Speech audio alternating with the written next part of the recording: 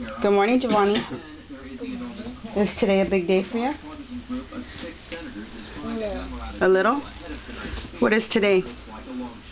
First day of school, And what grade are you in now?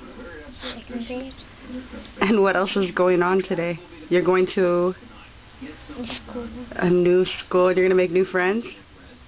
Not really. Yeah, you will. You'll make new friends, Papa. Oh, Yeah, I promise you will. Okay. You know why? What? Because you're handsome. No, Yeah, you are. Okay, that's what you say. That's what I know. What's your teacher's name? Woodcock. What? Miss Pata? He called her Miss Woodcock. No, that's a movie. That's a movie. Do what? Giovanni. I don't know who Giovanni. Miss G. Come on, Dad. G. That's Mr. Woodcock to you, my friend. I don't. Miss Reichert.